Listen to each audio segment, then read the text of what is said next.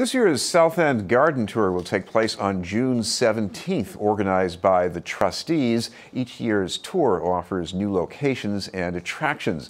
I'd like to welcome as our guest from the trustees, the engagement site manager for the South End and Lower Roxbury, Peter Bowne. Thank you very much for being with us, Peter. Thanks for having me, Chris. First Peter, for people who don't know the history here, uh, who are the trustees? So the trustees is a, a, land, a statewide land conservation organization that was started in 1891 by Charles Eliot.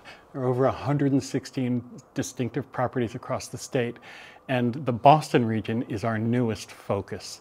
So it includes, uh, and, and it includes what I do, which are the, uh, I'm a player in the community gardens. Um, there are, we own 55 community gardens in the city of Boston, and my particular area of focus is the South End and Lower Roxbury, the original South End Lower Roxbury Open Space Land Trust gardens. And, and of course, uh, in, in, this part of the city, gardens, uh, some of them are private and they're nice to look at on a tour, mm -hmm. but some of the other gardens, uh, especially the larger community gardens, these are what people need for, for their food. A absolutely. We are, we are within the trustees in the agriculture uh, department of the, the zone of the trustees, and that's not a mistake. Um, these are about producing fresh, healthy food for everyone. Yeah. Well, one of the things you do with this tour every year is you have it in different parts of the South End. So, so where is the bulk of this going to be happening on the 17th? So, so this year it is, and, and I define it by neighborhood associations. Um, it's the 8th Streets, Union Park, Old Dover, and SoWa neighborhoods. So roughly it is from the ink block, uh, the new ink block buildings, over to Dartmouth or West Dedham Street, and then Tremont Street down to Albany Street, if that helps. Now, for people who don't know the South End, you know, I, I think you can say, uh, without much dispute, it isn't a very long walk, but, but it's, it's almost like worlds apart. Union Park and the ink block, these are two different zones. Isn't that the wonderful part of all of this? Um, and that's new this time around because the, the tour rotates through the South End. We come back to the same space every fifth year. So five years ago, there wasn't a lot going on in the ink block.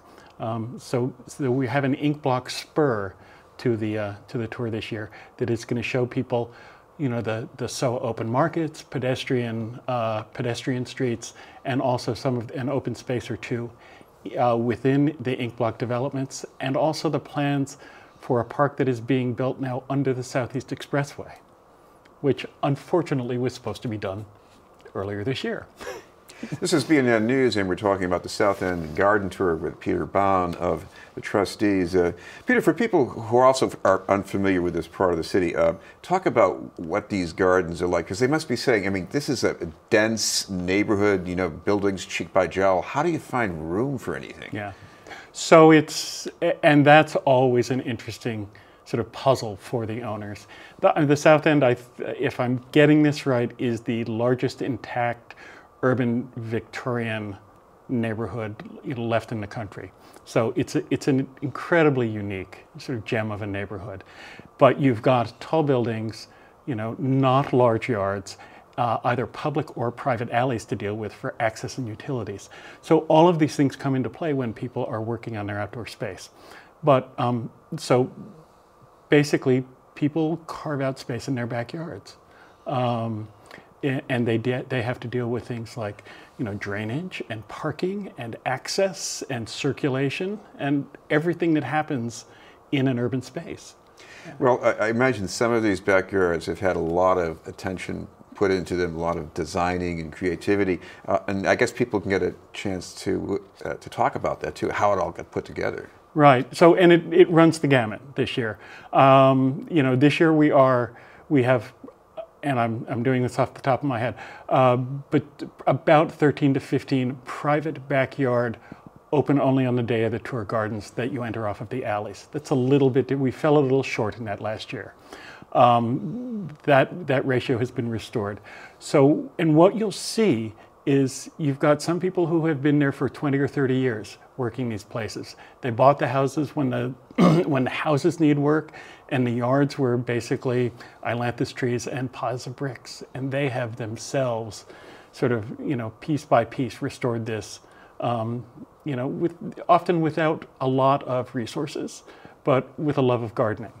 And then you run the gamut to the new stuff at the ink block or a new development um, a, a new rehab on Union Park that is just done and really is more of a it's a hardscape and it's a palette for someone to come in and to sort of complete the work on. But it's a, again a fascinating space. It's beautifully executed, and it deals with all of these sort of urban issues of, you know, how do you park? How do you get the kids to the car? Where do you put the stroller? Kind of thing that were never an issue when this neighborhood was built.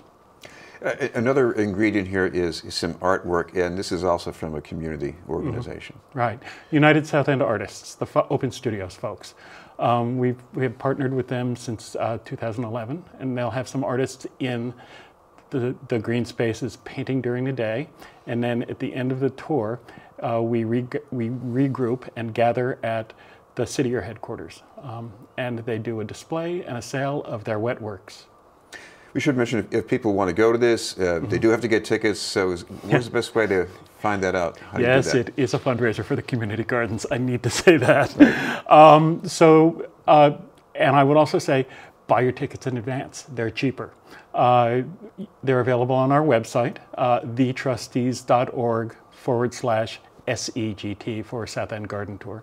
But if you just get to our trustees re- website, you'll be able to navigate that.